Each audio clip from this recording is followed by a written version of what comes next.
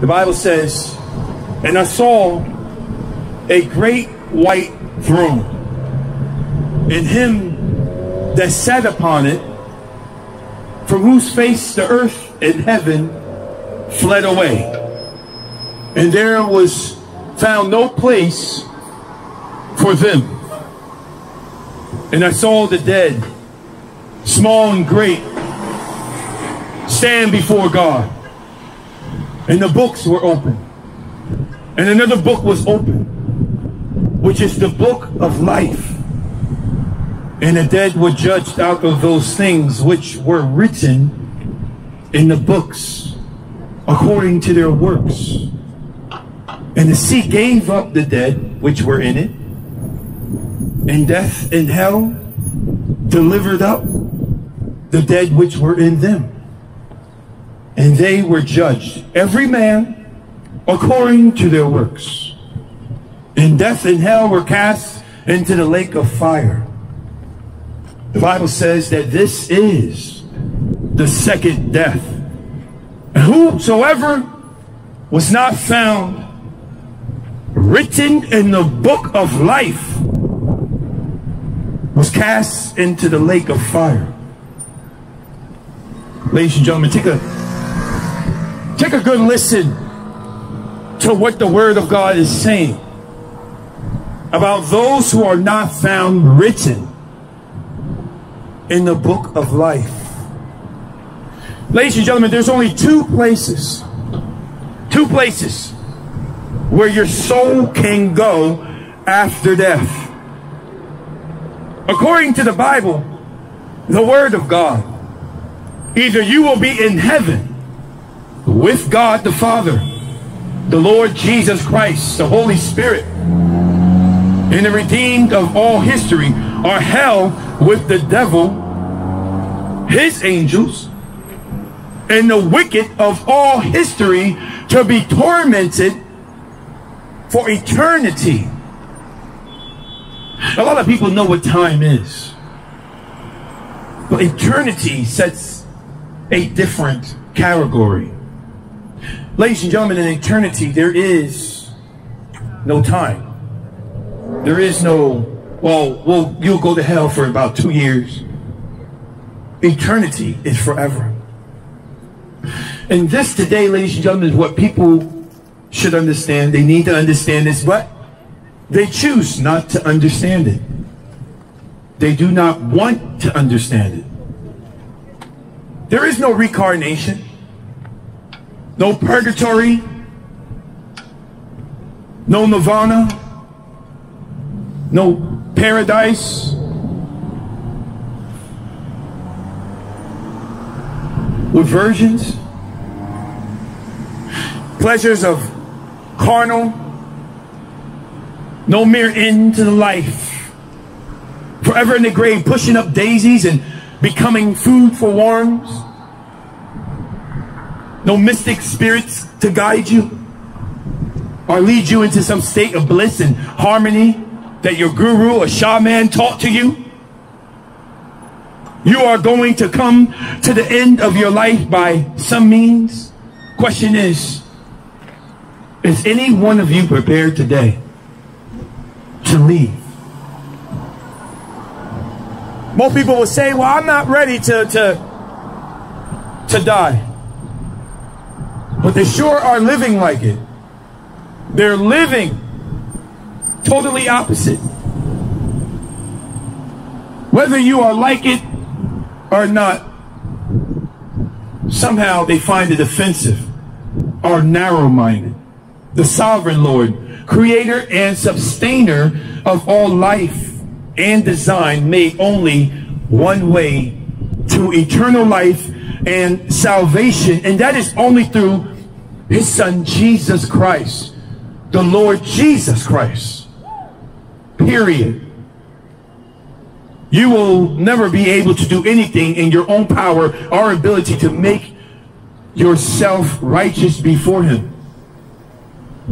The word of the mighty God tells us that salvation is from the Lord. It's, it's not from your welfare office.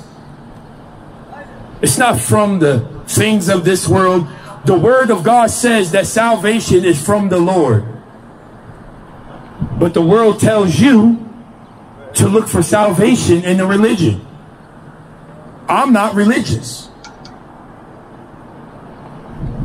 God is calling you into a relationship. And Him alone. God is not calling you to have an open relationship. God bless you. Thank you. He's not telling you to, to, to live any other way. God wants you to live unto Him. He gave us the instructions on what we should do, how we should do it, when we should do it. Nobody here in Journal Square will have an excuse when they stand before God in judgment. They will not be able to say, Lord, I did not know. They will not be able to say, well, Lord, if you give me extra time, I will can know. God is saying today, now is the time. And it's only through Jesus Christ. You can embrace him as Lord and Savior or reject his offer of salvation and peace and go your way. And the Bible tells us that narrow is the way. Narrow is the way, straight is the gate to Jesus. If you reject God, you're taking the broad path. And many are on it. They're on their way to hell. And they're fine with it because they don't fully understand what awaits them. We're looking at here and right now. God is telling you this ain't it.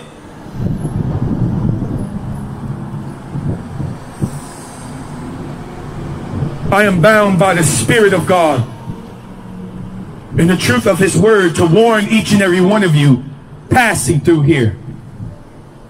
Warn you of what you will face at the end of your life if you continue to turn down the gift that God is offering you.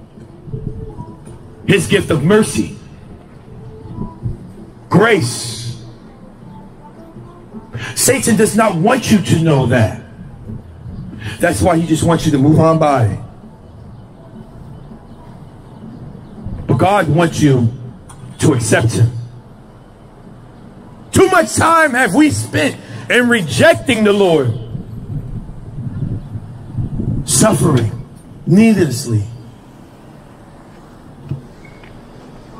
God is saying without him, you are on your way to hell. Oh, is it because I'm a bad person? No. It's because you reject him.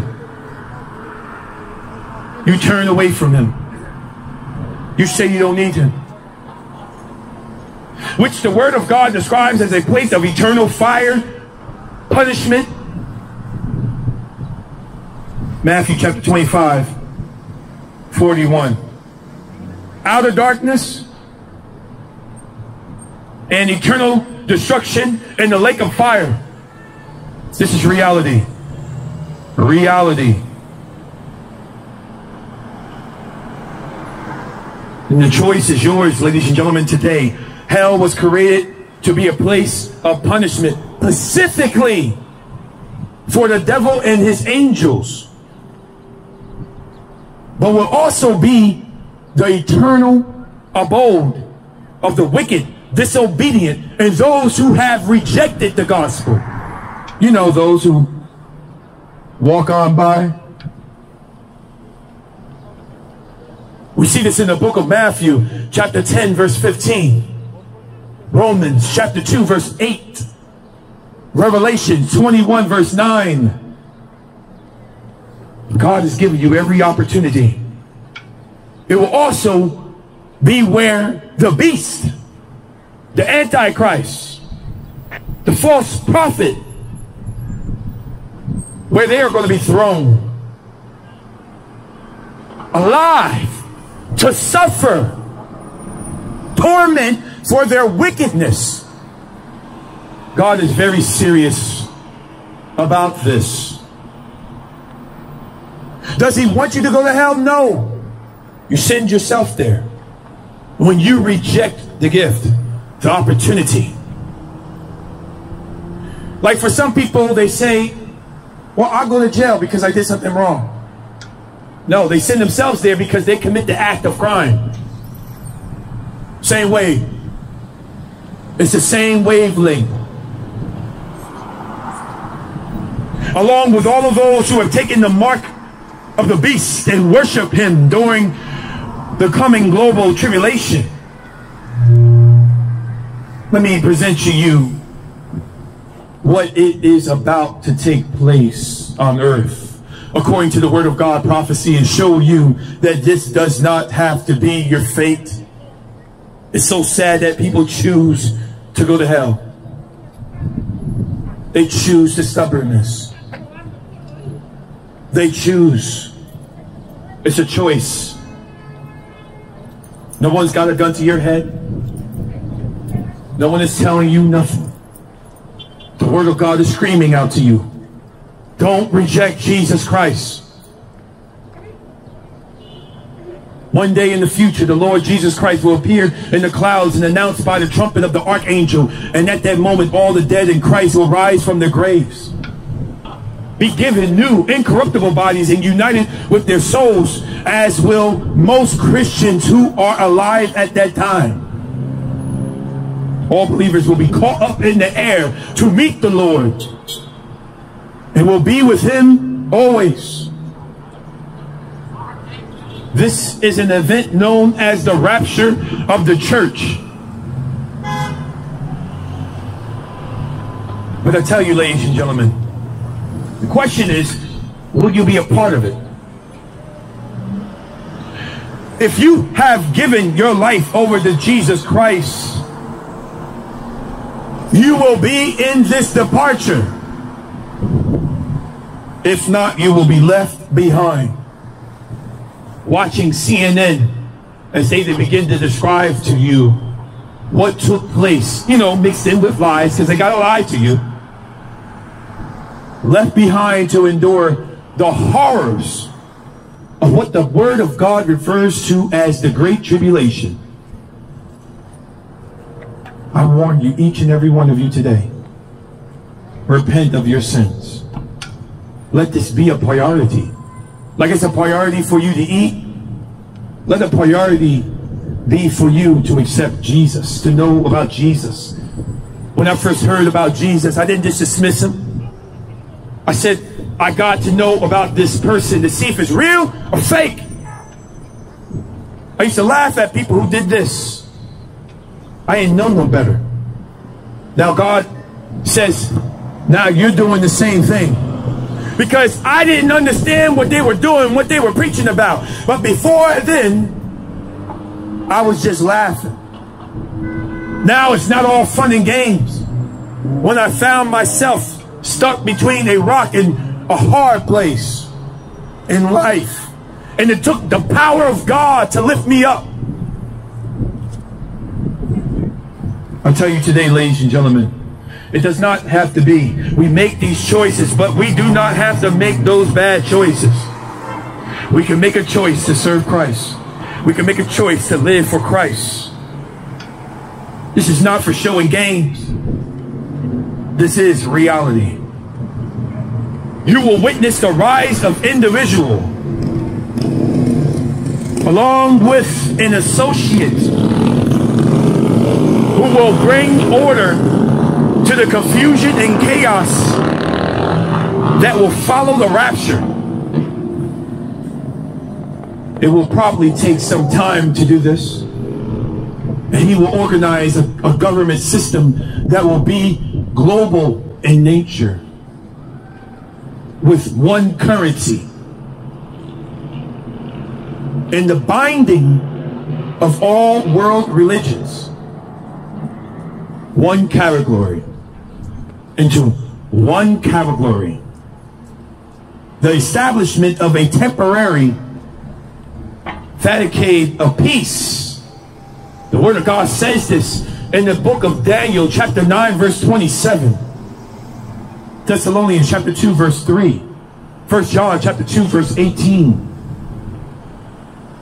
God's word speaks about the future. It's important for us to take heed now. You will have to make a choice whether to take this human monster's identification mark in order to survive or reject it and be a fugitive.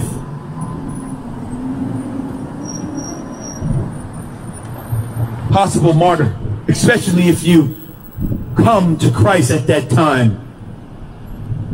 If you take the mark and swear allegiance to this coming world leader, you are co-signing your soul to hell. Do you want this? That's the question you have to ask yourself today. A lot of us like to run from questions. We don't like to know what the future is. It scares us. But I'm telling you, with God, you do not need to live in fear. For the word of God says that he has not given us a spirit of fear. And when you wear this face mask, and when you open your arms up to take this poison, you're living in fear. Oh, oh, well, how can you say that? I'm just trying to protect myself. Trust in Jesus Christ. I don't need a mask. I don't need a vaccine. God does all the work. All I do is walk by his spirit. All I do is read his word. Jesus Christ says that man live not by bread alone, but by every word that proceedeth out of the mouth of the Lord. That's what some of you today are missing. You're missing that part. And God today can fill your soul where you do not have to live in fear no longer.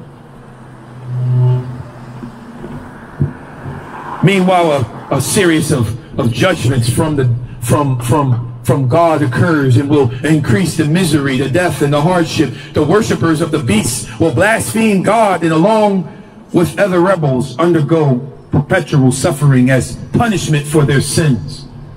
The question is today, do you want that? Again, ladies and gentlemen, I ask you, do you want that? If there's an opportunity for you to do right, wouldn't you want to take the right path? There will be a multitude who will come to Christ during this time called the tribulation. Cannot be counted. Through the preaching of the 12,000 Jewish evangelists, the two witnesses, and an angel, through the Holy Spirit's power of restraining evil has been lifted. He will still be present on the earth to convict, draw people to Christ for salvation. Ladies and gentlemen, I tell you, the beast will severely persecute the Jews, the Christians. He will be determined to execute all of them of speaking the future. But not before the Lord Jesus returns in, in glory to the earth to rescue his people. Destroying the works of the devil and his followers and establish his kingdom on earth with Jerusalem as his capital, where he will rule and reign with him for a thousand years. This is what the word of God says. The devil will be bound in the bottomless pit during this time and then be released to lead one final rebellion against God and his people.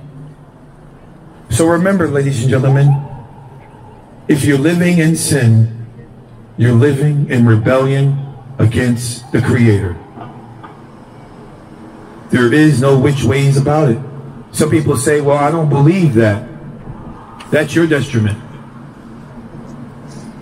Whether you believe God is real or not, that don't change his existence. Our belief in God or not, that don't change God from being where he is or not. God is still in control. He is still sovereign. He is still calling people to repentance. Satan will be cast into the lake of fire for eternity along with his followers, never to cause evil or chaos again. And all of those who practice in sin, they follow him, they will go to. They will be going into destruction with him. And again, the question is, do you want this? That is what God today is asking you each and every day that you wake up. God is asking you that question. Do you do you want it? Do you do you want that to be your end game? There will be bought up out of Hades in the sea will give up its dead. The bodies of every spiritual lost person will be reunited with their soul. The heavens then depart. The damned will have no place to hide or any defense attorneys to plead their case. There will be no plea bargains with God. No plea agreements with God. And the decision of the righteous judge, the Lord Jesus Christ, will be final. The Muslims going to find out real fast that he was much more than just a prophet.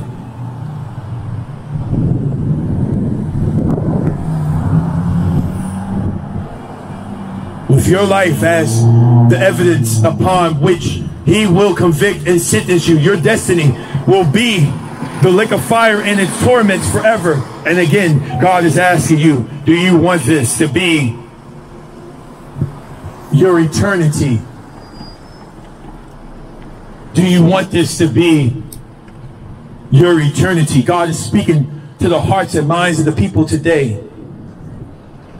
Do you want this to be your eternity?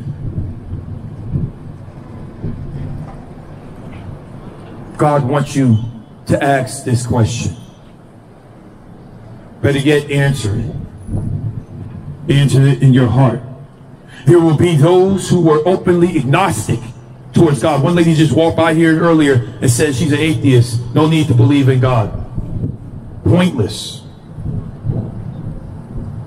I said the atheists, they're atheists that went to hell. They're no longer atheists.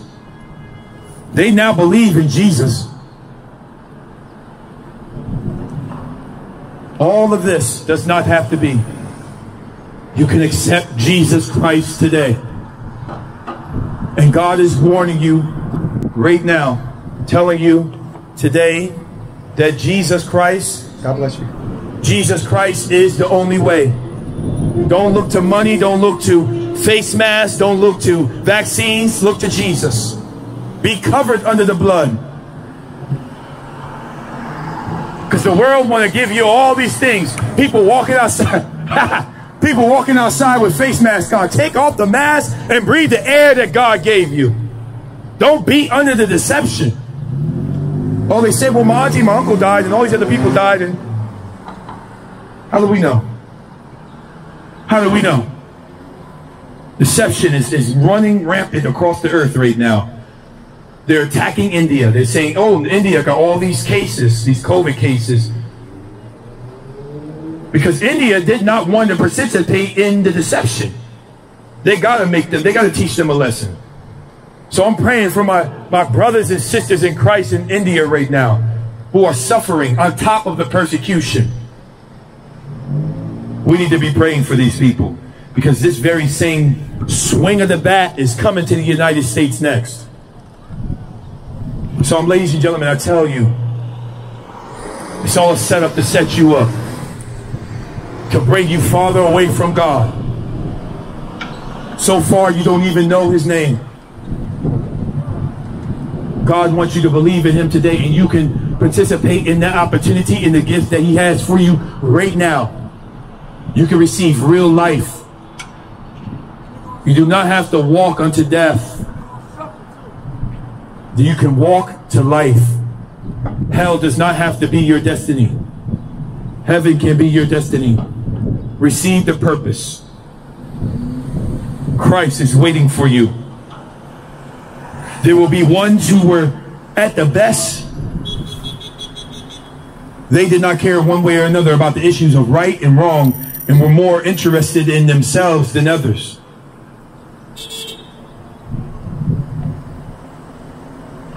Religious will be there. They were the ones who attended the church or were ministers and elders or had positions in, of respect in communities or faiths apart from the Christianity. Their common bond was that none of them had a relationship with Jesus Christ and had false converts who had paid lip service to the Lord but did not live a life dedicated to the Lord. Is that you today? Walking around Journal Square. God bless you. God bless you. Every one of these people will be shown their works listed in God's books where everything was recorded and nothing hidden. That is why, ladies and gentlemen, today is important for you to acknowledge God it's important for you to repent to God. I'm not telling you to go to a priest. I'm not telling you to pray to Mary. I'm telling you to pray to Jesus Christ because he will be the judge in the end and you will stand before him in all of his glory and give an account for the things that you have done. Every one of these people will be shown their works. Death and hell no longer needed or wanted or cast into the lake of fire where the devil and his demons and the beast and the false prophet are and will be in torment and eternal punishment. They never leave.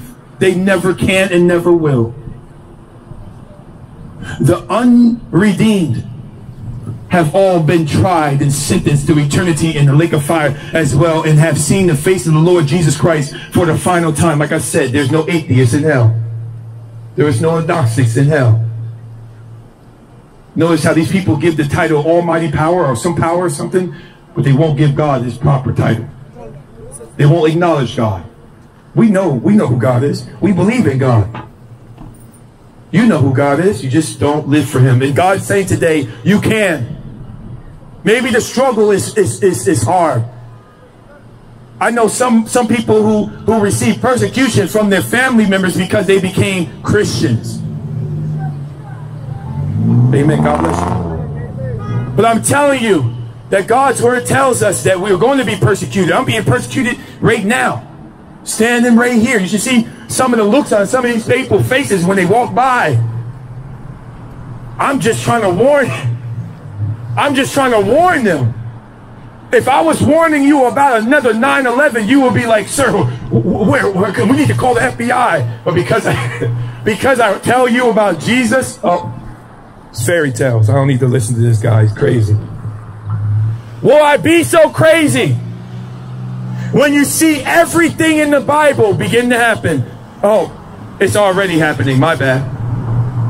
Just look in the book of Matthew, chapter 24. We read the newspaper. Look, hell, Jersey, uh, Jersey Journal's right there. They did a story about me. We read their newspaper. We have no problem reading the newspapers. But we got a problem reading the Word of God. Why? Because Satan does not want you to know the truth. He wants you to be so far away from a Bible you don't even know how to spell it.